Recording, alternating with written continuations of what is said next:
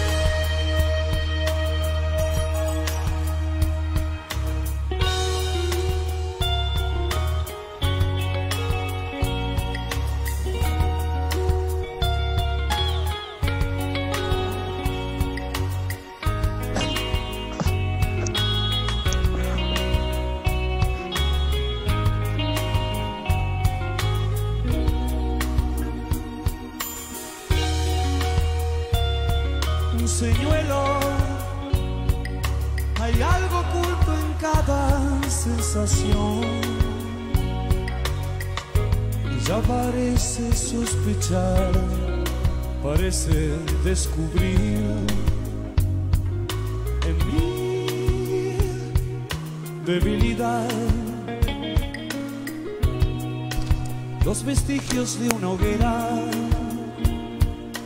Con mi corazón se vuelve velador, traicionándome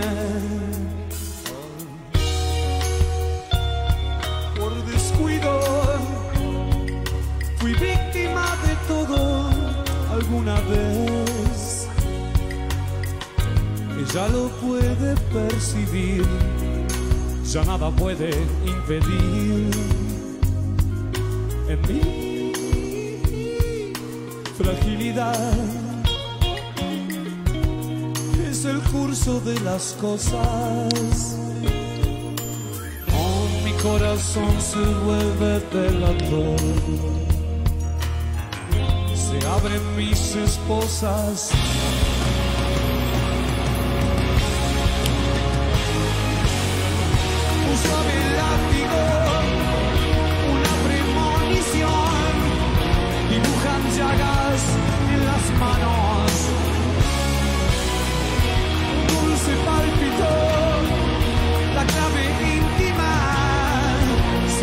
Cayendo en mis labios.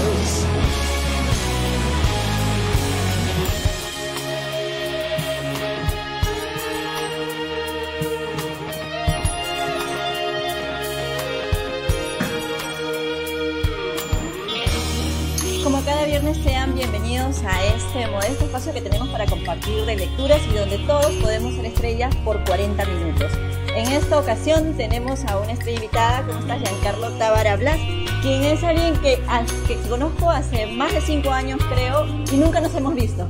Y ahora nos vemos por primera vez a través de, de la tecnología. ¿Cómo estás Giancarlo? Buenas noches.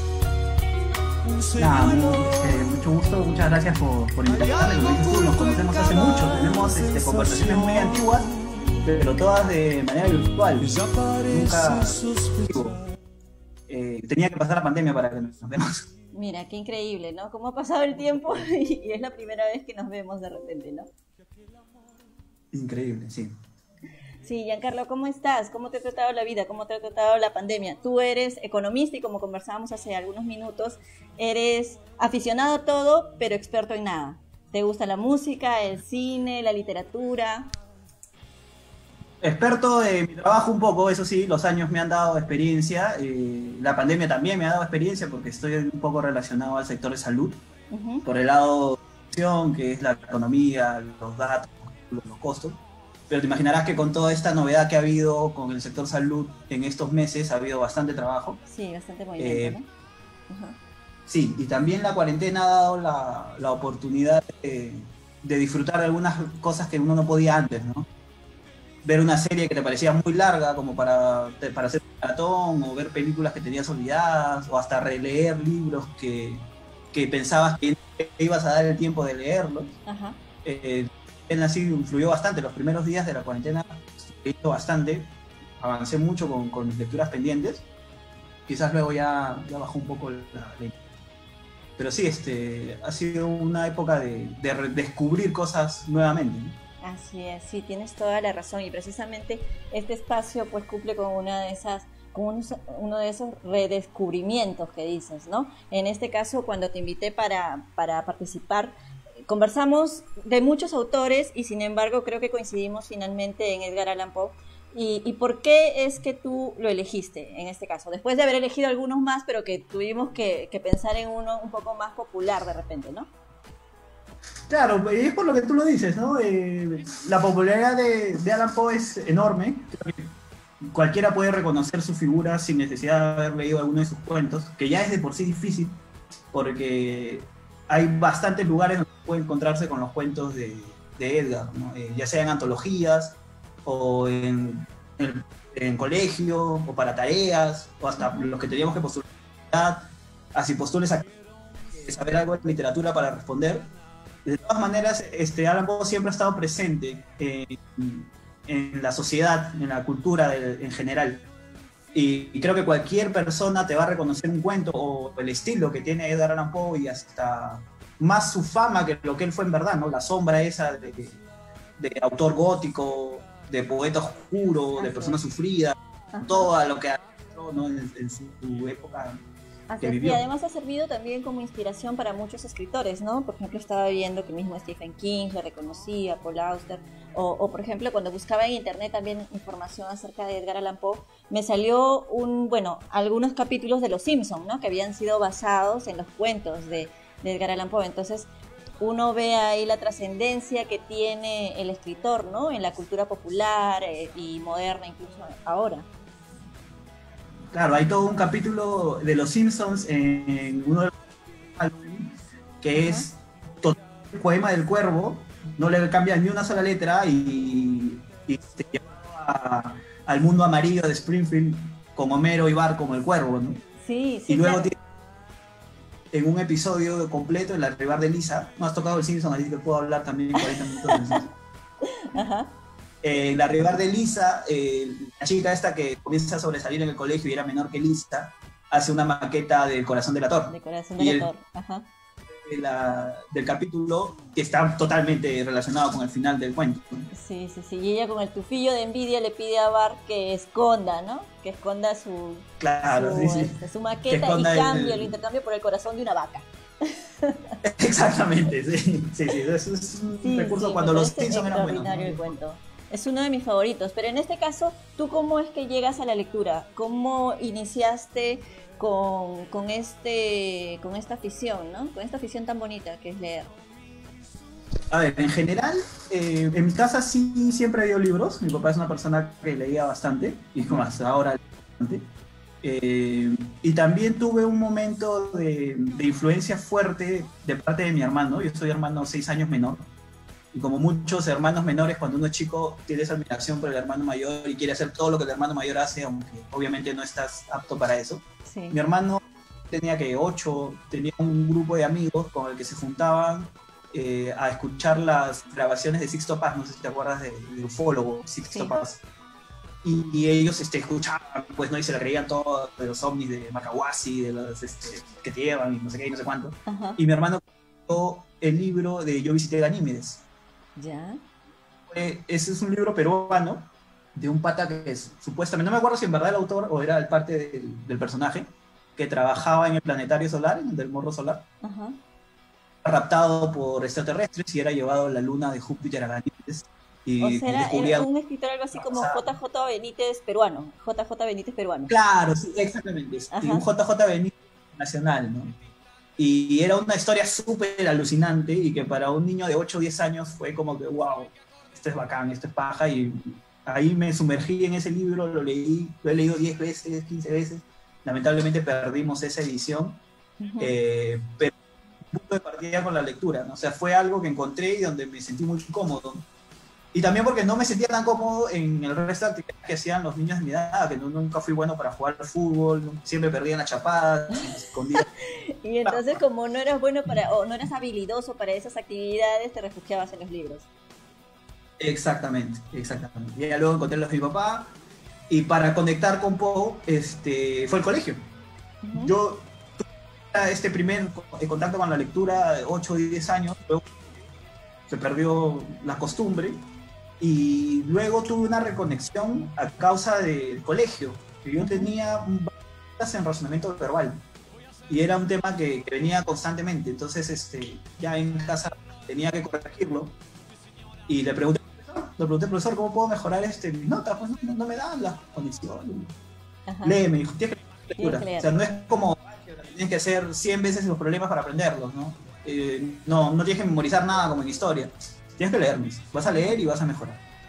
Y justo ahí fue que encontré entre las cosas que tengo en la casa eh, mi primera edición de los cuentos de Poe, que es recontra pirata. de Ah, los narraciones libros de Toribio Yarín Injante, seguro. Sí, ¿ah? Pero claro, es tan escolar que se respeta tiene sus libros de bolsillo de Toribio Yarín Injante que te cuestan 3, 3.50, ¿no? Ya si son un poco más extensos como La Iliada de Máximo Gorky, no sé, ya te cuestan un poquito más, ¿no? Pero no pasan de ese precio. ¿Sabes cuánto me ha costado esto? Que no sé si es verdad, pero dice 13 soles. 13 Yo no creo que me soles, te han estafado, por O Dios. sea, no, no me estafó, pero de lejos. Y es tan Sí, ajá. Que en esta edición el corazón del ator no se llama el corazón, el ator, sino el corazón revelador. El corazón Y que... no- O sea, es un libro recontra pirata. Recontra pirata, sí. Pero bueno, fue una de las primeras este, lecturas que hice en el colegio, luego ya las clásicas, ¿no? Este, Ajá. eh, Ribeiro, esto por ahí, Ribeiro, Sí, sí lo he visto ahí. con estuvo bastante entretenido el programa en que tocaron el tema. Y, y así fue. Luego, con intermitencias, ¿no? Tampoco es que sea como el libro, tengo momentos. Creo que también todo depende mucho del estado de ánimo. Claro, Hay veces sí, que por no. supuesto, exacto. Y muchas veces los libros pues marcan una época para nosotros, ¿no? Por ejemplo, en mi caso yo recuerdo haber leído mucho a Edgar Allan Poe cuando estaba ya terminando la secundaria y empezando la universidad. Y así como tú pues compraba libros que venían de los diarios para canjear a cambio de un cupón con montos, ¿no? Que tengo creo que los crímenes de la eh, Rue Morgue, después tengo también, bueno, algunos cuentos también es- esos, y bueno, y ahora que tengo este de acá, que son cuentos completos, esta edición extraordinaria con la traducción de Ah. Julio Cortázar, los prólogos de Carlos Fuentes y Mario Vargas Llosa, y la edición de Fernando Iwasaki y Jorge Bolo, que también tienes tú, ¿no? Sí, yo también. Yo también la tengo, fue un regalo. Yo, yo siempre digo que tengo eh, los cuentos de Poe traducidos por Cortázar y regalados, y regalados por mi enamorada. Así que eso le da Un valor adicional. exactamente. sí. Así es. Y muchas cosas se han tejido alrededor de, muchas leyendas se han tejido alrededor de Edgar Allan Poe, ¿no? Por ejemplo, justo conversábamos por aquí que este sobre su muerte, sobre sus amores, hay muchas leyendas al respecto. Yo recuerdo mucho que cuando estaba en la universidad, eh, un profesor nos dijo que cuando murió una de sus esposas o su novia de Edgar Allan Poe, él iba todas las noches a la tumba a llorar, ¿no? Y a recitarles poemas de amor. No sé cuánta verdad sea eh, tenga esa, esa historia, ¿no? Pero me parece incluso hasta romántico, ¿no? Romántico, bonito, o Creo un que poco es, tóxico. creo que es este. no, y, y lo que yo estaba leyendo en la biografía que hace Cortázar para esta edición, Ajá, eh, la diferencia de edad que había con esta esposa, ¿no? Con Virginia.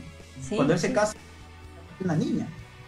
Bueno, pero 13 para esa época creo que muchos, muchos matrimonios tenían ese corte de edad, ¿no? Las, las mujeres eran prácticamente unas niñas y los varones, bueno, tampoco eran tan adultos, pero eh, se llevaban mucha distancia en edad, ¿no? Ahora, lo, lo que dice Cortázar es que, bueno, el matrimonio inicial fue, fue más como un tema de protegerla, de tenerla de, de protegida, más que un tema romántico. ¿no? Ajá. Y quizás el tiempo puede haber llegado a generar eso.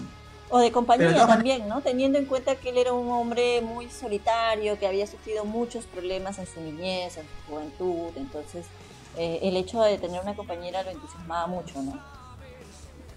Y tener una familia también, ¿no? Ujú. El padre es chico, eh, luego crece en adopción, pero tiene mala relación con el padre adoptivo. Claro.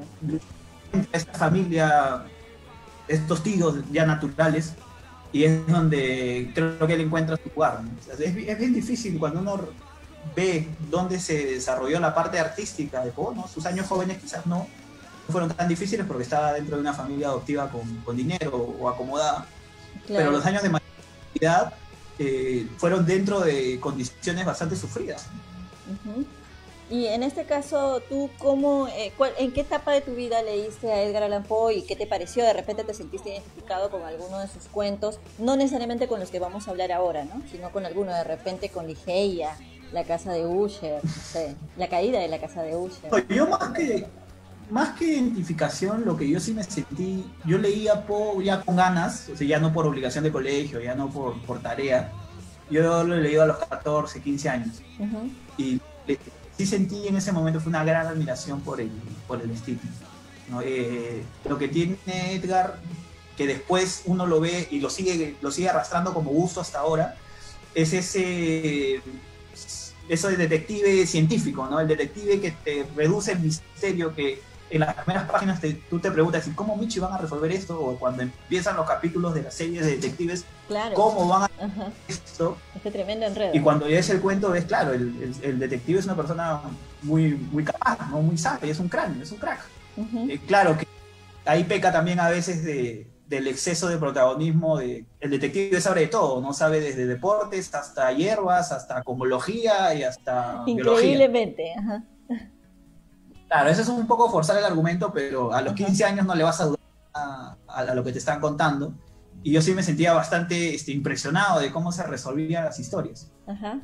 Y en este caso, por ejemplo, vamos a hablar de El escarabajo de oro, ¿no? Que es uno de los cuentos más inolvidables que tiene Edgar Allan Poe. Por- Bueno, en realidad creo que todos sus cuentos son muy conocidos, o la mayoría de ellos, ¿no? a diferencia de muchos autores, la mayoría de sus cuentos de él son casi completamente conocidos, pues, ¿no? En este caso, bueno, vamos a hablar del escarabajo de oro y luego de El corazón delator. Si nos puedes dar un resumen de repente para toda la gente que te está viendo y que sepan que sí has leído el cuento, que has hecho la tarea.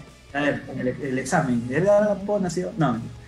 Eh, el escarabajo de oro empieza, o bueno, trata de dos personas, el narrador y un amigo. ¿no? Eso también tiene Poe, ¿no? el, el narrador que, que sabe cómo introducirte al, al misterio del cuento. Así es. Entonces el narrador va a visitar a su amigo que vive en una zona medio alejada de la ciudad y tiene un mozo, un- una persona que lo ayuda.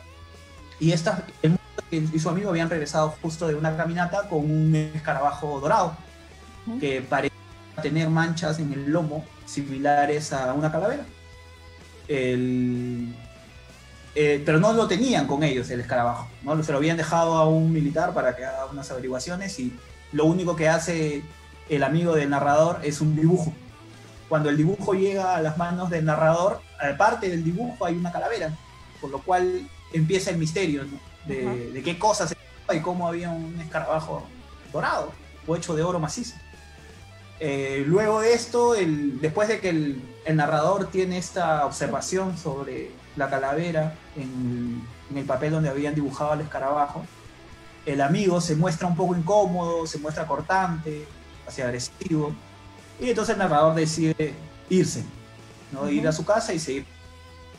Casi un mes después, el mozo del, del amigo va a visitarlo y a pedir su ayuda. Ya que la persona, eso también me, me- me fascina esa, esa dicotomía que pone Edgar en sus personajes, de, oh, es un genio. O sea, está ahí entre, tú no sabes si en verdad el personaje está totalmente chiflado o si la ve más clara que cualquiera. Sí, sí, sí. Entonces lo he estado al, al amigo y lo siguen en una empresa que era ir a, a meterse en el bosque, a meterse a buscar algo, Ujú. aunque nadie sabe. No sé si tengo que contar todo el cuento. No, no, no, pero a grandes rasgos, ¿no? Que después finalmente ellos encuentran un pergamino, en el pergamino pues este tienen ahí, eh, encuentran también la calavera, ¿no? En la isla y ponen el escarabajo, eh, hacen caer el escarabajo dentro del ojo de, de la calavera y le sale el pergamino, no me acuerdo muy bien esa parte, que sale el pergamino y en el Claro, es pergamino que esto sale es pues para una serie de ¿no? sucesos, ¿no? Ajá. Sí, es, es toda una serie de para sucesos. encontrar el tesoro, que- supuestamente. Exactamente, que en el momento de la narración, que es casi a la mitad del cuento, Ujú. eh, va al revés, pues, ¿no? Es como, como las películas estas de ahora son 11, ahora son 12, ahora son 13, que te muestran el robo al medio y después te dicen cómo se robó. Ajá, Igualito es esta. claro. Tesoro Edgar al ya lo medio, había hecho encuentran el tesoro y te dicen, ya, pero oye, tú estabas, pensamos que estabas loco y que estabas buscando un tesoro que no existía y cómo era que sí sabías que existía el tesoro. Entonces ahí el pata cuenta paso por paso. Entonces, eh, eh, y es genial, ¿no? Porque depende mucho de la casualidad la historia que cuenta el, el amigo del narrador. Ajá. Porque, como digo, eh, tiene el mismo estilo, han pasado casi 200 años y tú lo puedes este, calcar en una película, lo puedes calcar en una serie, en un episodio, porque es lo mismo. O sea, a veces es el detective llega al pueblo y justo habló con alguien y total resulta que minutos después ese alguien había dicho una palabra que activó algo en el cerebro del detective que lo llevó al asesino. Ajá. Y es lo mismo. ¿no? El pergamino Y, y pres- así es. pasó con el calor y el narrador había estado justamente cerca de la chimenea porque también Oh, qué resultaba exacto entonces toda esa serie de, de- de este eventos se desencadenan por esta interacción ¿no? con, el, con el pergamino y con el carabajo dorado Claro, yo me lo todo imagino a Edgar Allan Poe si viviera pues en nuestra época, sí sería un, un nuevo o sería todo un Stephen King, ¿no? Que, que es guionista, que además es productor de, de series, de películas, ¿no? Y todas sus y él también pues estaría escribiendo sus guiones para, para las películas de terror o de misterio que, que tiene en mente. siempre y cuando haya solucionado su problema con la bebida ¿no? porque si no muy difícil que esté teniendo éxito ahora o hace 200 años ¿no? Bueno, Él sí, tenía tienes razón. Ujú. Sí, sí, sí. Volviendo a los Simpsons, ¿no? Como decía este, Lisa, tenía muy mala suerte cuando no, Tenía muy mala borrachera. Este, y se emborrachaba muy rápido. no sé, nunca Y lo metí era, este, de bronca fácil, luego buscaba la bronca, estaba Ajá. borracho. Entonces, creo que ahora o en su momento, si no hubiera corregido eso, no nos hubiera durado más años, quizás. Sí, sí, sí, seguro que sí. Precisamente tú estabas hablando de que se podía llevar de alguna serie. Tenemos un video de una animación. Vamos,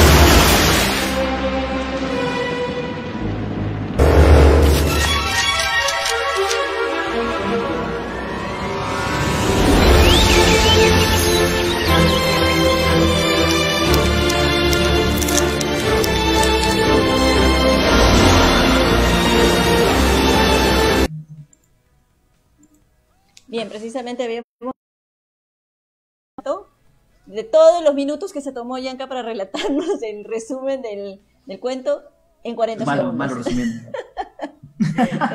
Jamás te voy a pedir No, que me hagas una resumen. nota resumen, de verdad.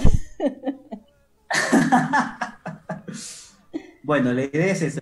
Vale la pena. Yo lo puedo haber arruinado, pero el cuento vale mucho la pena.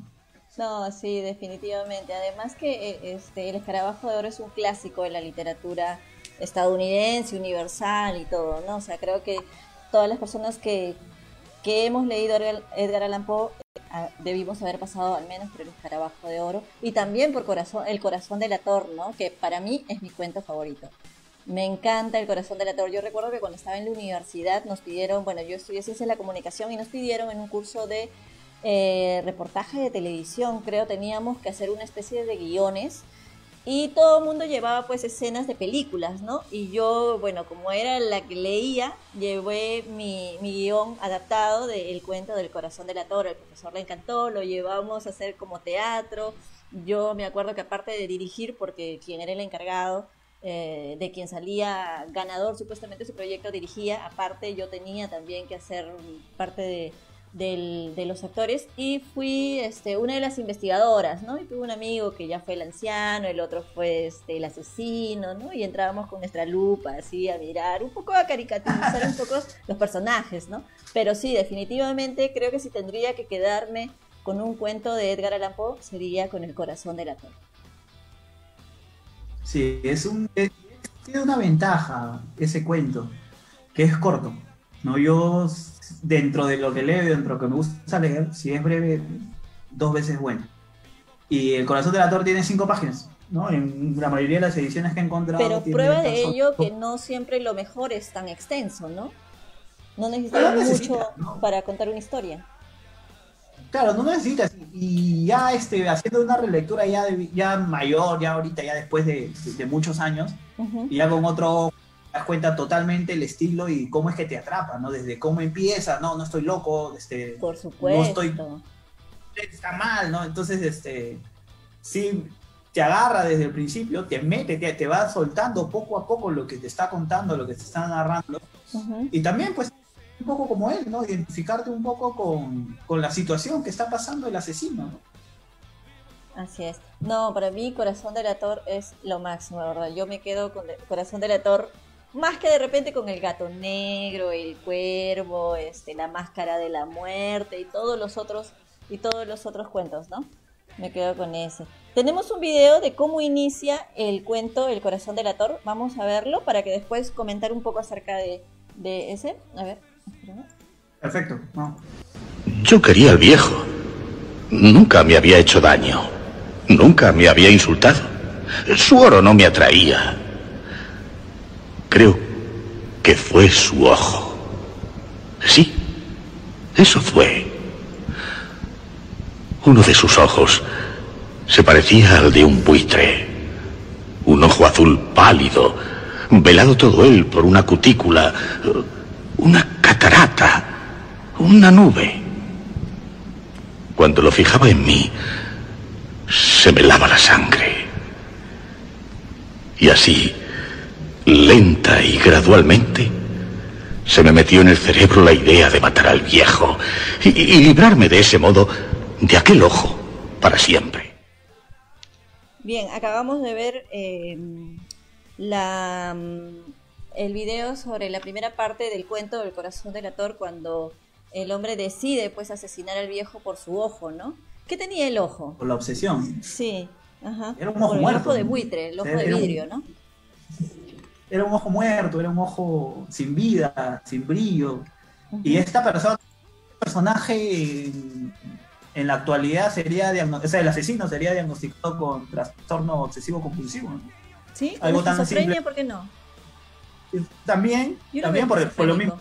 Ajá. tampoco por, también por lo mismo que escucha ruidos que no, que no hay, ¿no? Como el Claro. corazón de una Eh, pero sí tiene todas estas enfermedades, tiene esos demonios, quizás que, que podía llamarse en la antigüedad cuando la psicología no estaba tan, Tan tan este estos demonios que son los que lo llevan a cometer el acto tan tan triste del asesinato Sí, sí, y precisamente este cuento me gusta mucho la forma en cómo está redactado. Justo tú decías eso, ¿no? De, de- de cómo utiliza las palabras eh, el autor para poder contarnos una historia, ¿no? Empieza, es cierto, siempre he sido nervioso, muy nervioso, terriblemente nervioso, pero ¿por qué afirman ustedes que estoy loco? La enfermedad había agudizado mis sentidos. En vez de destruirlos o embotarlos, y mi oído era el más agudo de todos, oía todo lo que puede oírse en la tierra y en el cielo. Muchas cosas oí en el infierno. ¿Cómo, puede estar ¿Cómo puedo estar loco entonces? Escuchen y observen con cuánta cordura, con cuánta tranquilidad les cuento mi historia. Me parece genial esta introducción que hace, ¿no? Porque te invita a seguir leyendo y como tú dices, son solo cinco páginas donde se narra toda la historia completa del asesinato y después de, de cuando él mismo pues se delata, ¿no? Bueno, el corazón lo delata. la, la- la habilidad la habilidad de Poe creo que está en que todos cuando nosotros leemos tenemos una voz del- del- de la narración que estamos leyendo es tu propia voz es una voz distinta yo siempre he tenido la pregunta si cuando las mujeres leen la voz que les cuenta la historia es mujer o no Por supuesto. Nunca me he puesto a pensar en eso, pero bueno. Es la voz de depende del lee. autor, no sé, capaz, capaz si lees una autora, este, lo lees con voz de mujer o si lees con un autor hombre. Bueno, es una pregunta válida, sí, es una curiosidad válida, ¿no? Sí, sí, tienes razón. Ah, voten, voten. No, y, y lo que yo, a lo que iba con esto de la voz del, la voz del cuento, la voz de, la- de las páginas que estás leyendo, Ajá. es si tú logras hacer que la voz de tu cabeza que te está leyendo el cuento esté igual de nerviosa como el autor lo pone en las páginas, Ujú. ahí está el buen trabajo. No, porque uno puede poner, "Oye, estoy nervioso, no sé qué, pero si las palabras que usas, hasta el tamaño, la cadencia, no sé, el ritmo, no te convence, no te transmite esa ner- nerviosidad, el cuento no logra su efecto.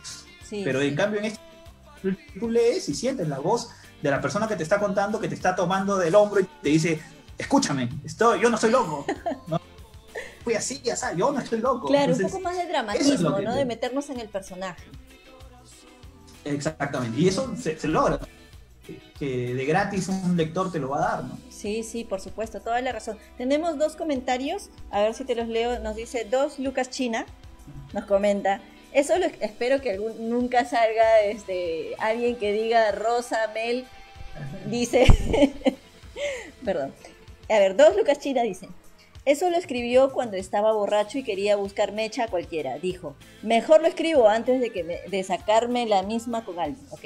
Antes de que sacarme la misma O sea, y bueno, y Yo- Carito ahora, es, Pinto es un comentario bien, es un comentario bien válido, porque es este. Si tu autor está tan atormentado y que quizás tu autor quería matar a alguien con un ojo de vidrio, con un ojo muerto, mejor lo escribo antes que matarlo de verdad. Ah, claro, ajá. Entonces de alguna manera libera los demonios que lleva dentro, ¿no? Eh, exactamente, como terapia la literatura. Claro, su catarsis, pues. la, literatura también o la escritura es una catarsis, ¿no? Ya, ahora dice Carito. Pinto, nos dice, para mí depende del autor, escucho la voz de quien relata, o sea, depende del autor, o sea, si esto lo escribió Edgar Allan Poe, escucha la voz de un hombre, entiendo, ¿no? Si lee a Virginia Woolf, pues escuchará la voz de una mujer. A mí me pasó algo bien chistoso porque yo voy a pecar de recontra ignorante y yo soy bastante fan de las aventuras de Alicia. Alicia en el País de las Maravillas, Alicia. Ajá. El Lewis Carroll. que Lewis Carroll era nombre de mujer. no, No. no sabía. Pero, No, pero fácil, pues, a ver, no, a ver, no, no, no, no es lo mismo, mo- por Jerry Lee Lewis. No. Creo que por el Carroll, por el Carroll, que dice que era Carol, Sacho. Era muy chivolo. No, y Lewis, sí, bueno, obviamente. Claro, sí, sí, sí, Sí, hay nombres pero- así. También hay un cineasta que tiene nombre de una mujer, de un, tiene nombre de mujer, pero en realidad es de hombre. Bueno, a nosotros nos suena. Andrea, creo, Andrea, creo que hay, hay un No, Andrea. ese es un cantante. Pero Andrea pasaba que entonces las primeras veces lo leía con voz de mujer. Ajá. Sí, bueno, Lo leía, depende para mí el de narrador tenía ¿no? voz de mujer. Y ahora sí tiene voz de hombre. Bueno, vamos a saludar también a Helen Ríos, que dice corazón de la torre y su carita de estrellitas. A Diana Nieto, Olita, salúdala por favor, este, Yanka. Te está saludando, te dice Diana Nieto, hola. Tenita, ¿cómo estás? Bien, entonces, básicamente es eso, ¿no? Corazón Delator es un cuento donde nos habla, como tú dices, de la liberación de, de los demonios de una persona obsesiva con algo. En este caso, con el ojo de un hombre anciano que vive solo y que está listo para morir. Claro, y es la persona que se cree también súper lista, ¿no? Porque él se da el lujo de. Cuando llegan los investigadores por el grito que escucharon del viejo los vecinos, Ajá. cuando llegan los investigadores a saber qué había pasado, él se da el lujo de hacerlos entrar, pasarlos por toda la casa, ayudarlos a buscarlo. El cuerpo estaba debajo de. del piso, Claro, debajo la de- imagen de una persona calculadora, ¿no? Que lo planifica todo.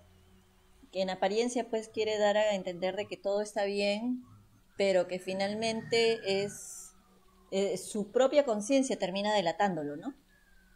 Ahora, ahí yo creo que podría ser un punto de debate, ¿ah? no sé, pero ya un debate como, como bien habías puesto al principio del, del video, entre dos amigos, de especialistas, ni de filólogos, ni de literatos, ni nada, Claro. pero yo me el cuento, decía, los moralistas pueden decir que fue la culpa la que puso esos ruidos en su cabeza, ¿no? Del latido del corazón. Pero yo creo que fue su propia locura. Yo me voy más por el lado de, no es que el bien y el mal, oye, hiciste un- algo malo y tienes que pagar tu condena, pocas veces se ve en la vida real. Ajá, sí, sí. Yo creo que el tipo porque su locura se le revertió. No, o sea, sí, es- siguió escuchando porque sí. O sea, y es más, estaba tan loco que no sabía que estaba jugando con fuego, de quedarse tanto tiempo con los agentes en el lugar donde estaba el cadáver. Ajá. Si de verdad hubiera sido un genio, como él decía que era, no los hubiera retenido tanto tiempo, no se hubiera relamido los labios este, con la duda de los investigadores. O sea que todo era parte de su plan, incluso hasta el hasta delatarse a sí mismo era parte de su plan, por así decirlo. No sé si parte de su plan, pero sí parte de su enfermedad, ¿no? O sea, sí sufrió su... O sea, no podía controlar nada. Aunque creía que él controlaba todo, eh, Pero su locura fue más. fue bien, bien para atrás. Pero hasta incluso este, psicológicamente, a veces hay, hay quien habla de que no hay libre albedrío, ¿no? Sino que son las reacciones químicas de nuestro cerebro las que nos controlan, las que nos hacen querer este, comer algo, o querer a alguien, etc. Eh, hasta el mismo asesinato y ponerse en esa posición sea parte de, de la enfermedad que la persona tenía, la enfermedad psicológica. Sí, mira, justo vamos a ver el último está, o video. sea- Ajá. Vamos, perdóname, vamos a ver el último video donde él dice quién fue el que asesinó y dónde está el cuerpo, pues, de, del, del hombre, ¿no? Apenas respiraba y mantenía quieta entre las manos la linterna. Me esforzaba en conservar el rayo de luz fijo sobre el ojo y en tanto el pálpito infernal del corazón del viejo era cada vez más fuerte, más rápido, sobre todo más sonoro. El terror del viejo debía ser extremado. E- Ese latido se hacía más y más fuerte por momentos. El zumbido se hizo más potente, más claro, cada vez más perceptible. Más fuerte, más fuerte, cada vez más fuerte. No podía seguir soportando aquellas sonrisas hipócritas. Era necesario gritar o morir. Y les dije, no lo oyen, escuchen. Más fuerte, más fuerte, cada vez más fuerte. No lo oyen, miserables. No sigan disimulando. Lo confesaré todo. ¡Todo! ¡Arranquen esas tablas aquí! ¡Aquí! ¡Es el latido de su horrible corazón!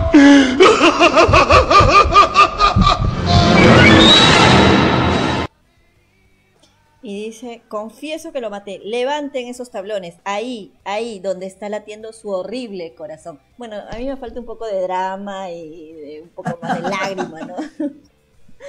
Pero bueno, de repente tú lo puedes hacer mejor. O de repente podemos hacer un concurso de, de personas que leen la última parte del cuento, ¿no? Para que le den ese, ese plus. Ahí habría que ver quién está más loco, ¿no? Para que sea más creíble. Sí, un poco más desgarrador. Sí, es, como digo, es, este, es un momento, es un clímax que te ha venido preparando desde el inicio del- de la narración. Es muy rápido. Sea, si alguien lo está leyendo eh, de corrido, hay muy poco tiempo entre que empieza, entre, entre que pasa el desenlace. Y esa es otra de las ventajas que tenía Poe para mí como lector. ¿no? Yo leía, las épocas en las que más leía fue mi época universitaria en el trayecto a San Marcos. Yo vivía era y me iba hasta San Marcos, era casi hora y cuarto de... Y en esa época no había este, este Spotify, no había, había Claro. que te gastaban las pilas en medio viaje. Entonces sí, había, me compré esta selección de cuentos para leer en el bus y creo que ahí estaba también el corazón del ator o había cuentos de Poe, porque tenían este, los lees en tres paraderos y listo. No, sí. Ahí está, Helen Ríos nos dice, no hay asesinato perfecto, toda la razón. Aunque, bueno, no sabemos si en realidad hay o no hay, porque los que son perfectos que si, nunca los si hay un asesinato. Exactamente, o sea, esa es la, esa es el- la hoja, ¿no? Porque si el asesinato es perfecto, nunca vas a saber que fue perfecto, nunca te vas a enterar. Claro. Podría, que sí podría haber. Sí, Eh, seguro que sí, sí, ¿no? Y hay gente que ha muerto con ese secreto. A mí me gusta, eh, una de las películas de Woody Allen que más me gustan, es más, la, mi película sin Woody Allen que más me gusta es este Match Point. ¿Ya? Ajá. Porque no actúa en Match Point, ¿no? Y, y- y en Match Point sí hay un asesinato perfecto. Sí, la película es, es muy buena y tiene este dilema de... Creo que también tiene bastante el corazón de la torre ahora que, que, que recuerdo, porque él sabe lo que ha hecho, que hay una investigación, pero sí, bueno, ya es casi contar el final, ¿no? Pero sí es casi, casi un asesinato perfecto.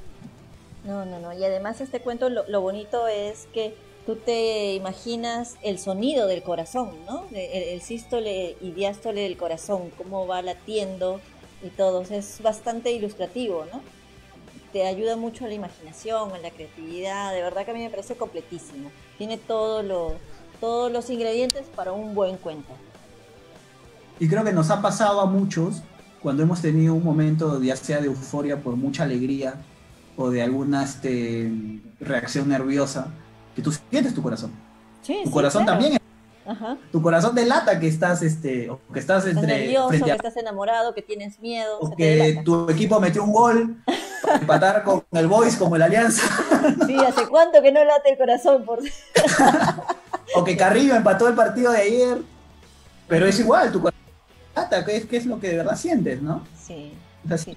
cierto, ese, ese, y ese retumbo, ese diástole y ese sístole, todos lo conocemos. Claro, y encima tienes miedo de que la otra persona lo escuche o lo sienta, ¿no?